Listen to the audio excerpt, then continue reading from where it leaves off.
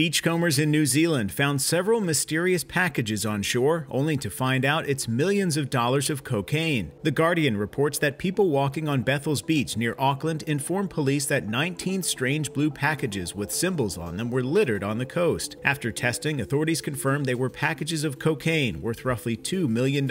Suspecting more of the shipment may be found, police sent out search helicopters and asked residents to report any further discoveries. Jose Sousa Santos, a crime researcher at New Zealand's Massey University, told The Guardian that the packages were likely thrown overboard by smugglers on a boat, worried about being detected, or may have been attached to a covert mooring with a radio tracking device but floated away from the weighted down part. Santos also told the media outlet the cocaine likely originated from Peru or Colombia, where it can be sold for about 35 times its value in New Zealand, around $250,000 per kilogram.